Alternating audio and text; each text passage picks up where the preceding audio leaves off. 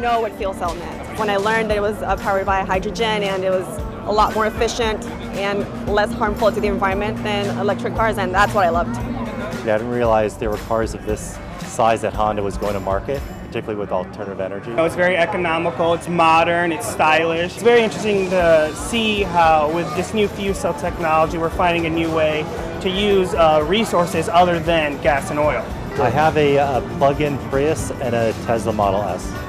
Does have a little bit more range than the Model S, from what I understand. He said it was a 300 uh, mile range. In terms of how long it takes to uh, fill up, I, believe he said three minutes.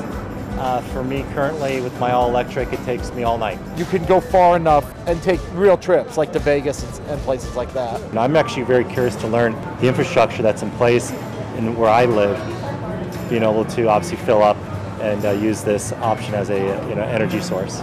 I'm actually in the market next year for a car, and this would be a car that would work for me.